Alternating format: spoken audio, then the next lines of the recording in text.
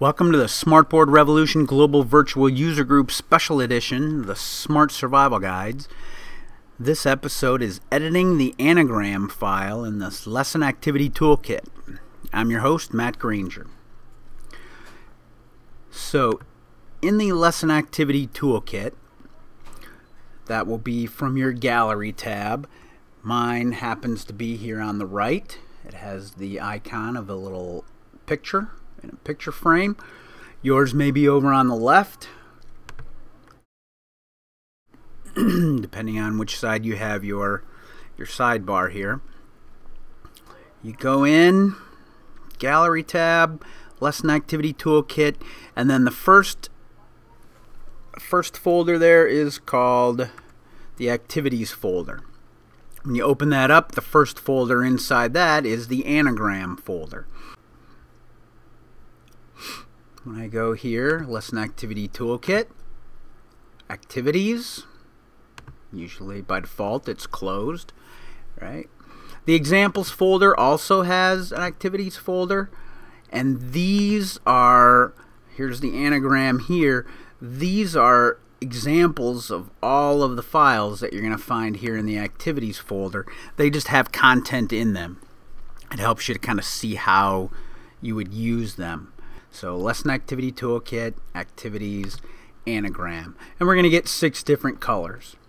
And for no matter which one we pick, we're going to get the six different colors. Same thing with the six different colors. To get it out onto your page, just like any other gallery item, you drag it or double click on it.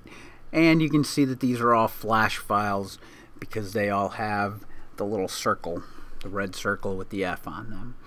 So, um, so here's my file. This is my anagram file. Now it's too big,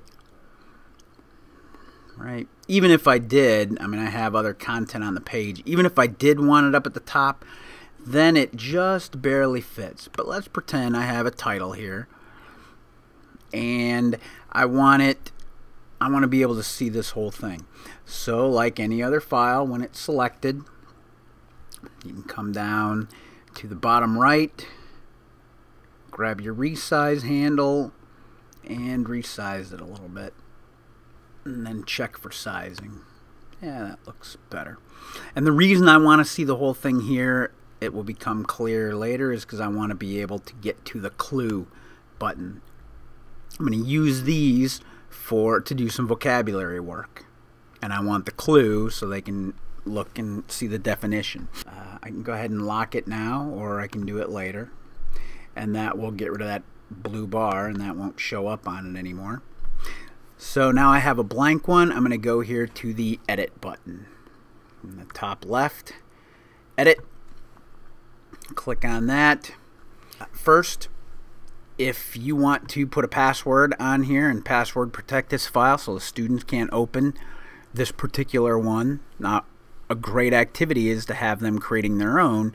But if this is one with, you know, that you created, um, you may want to put the password in there.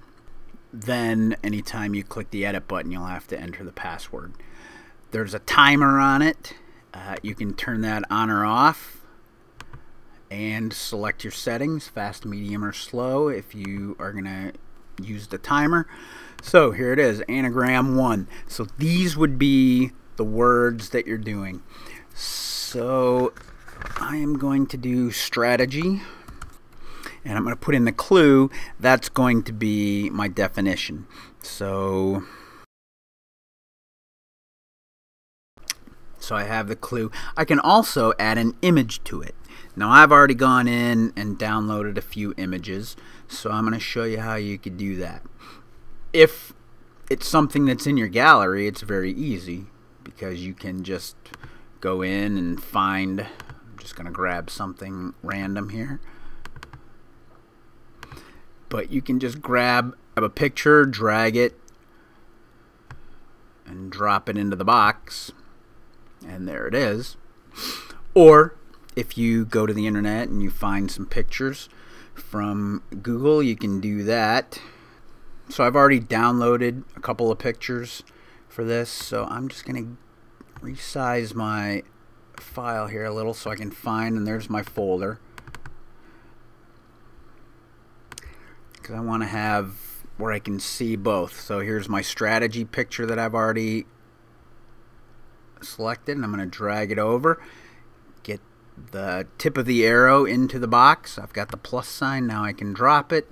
And there's my strategy picture uh, and I'm going to put in the next one accept and I also found a picture for that now you don't have to have the picture you can put pictures in some but not the others that's fine so I'm going to draw, now it's a huge picture, right? But all I have to do is get the tip of the arrow in the box and then I can drop it and it'll resize. And there's the picture.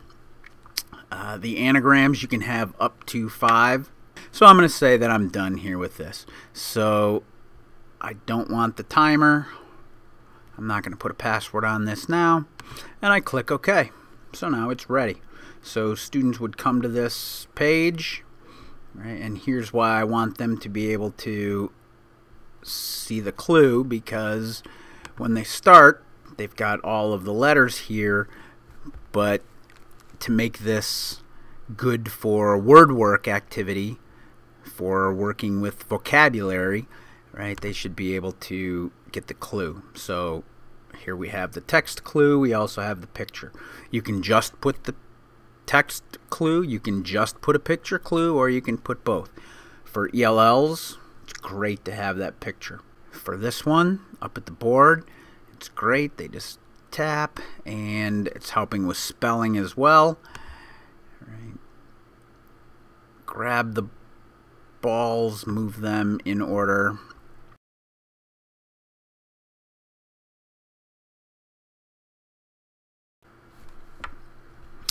Then I can go to the next word. I can get my clue to take or get something. Oh, there's a man, he's getting something. Now, I accidentally I capitalized the word when I put it in there, so I have that visual clue, which maybe you want to do that to give them that visual clue, but if it's just a vocabulary word here, generally I'm not going to do that. So I can go back and change that. So to change it, just go into edit change it. So now the next time it would it would not have the capital. From the lesson activity toolkit, the gallery tab, lesson activity toolkit, uh, activities folder, and then the anagram folder. You're going to get your six different colors. Pick your color, drag it or double click to add it to your page. Click the edit button. You're going to enter your content, which would be your word or the anagram, the clue, the images if you want to. If you want to enter a password, you can do that. You can, whatever you want with the timer settings, work with those and then you click OK and it's ready to go. Finally, you know, once you put that out there, and if you have, since you can only have five, right? If you have more than, say, you had eight words, you could make one with four, and then the second page, create a new page, put another one on there, and then put the other four words on the other one, and then they can do both pages. Image sources information. So we have a monthly SBRGVUG, Smartboard Revolution Global Virtual User Group meeting. Smartboardrevolution.ning.com, right at the very top of the page, has the information about the upcoming meeting. So join us for more learning. This has been Matt Granger for the Smartboard Revolution Global Virtual User Group Smart Survival Guide Special Edition.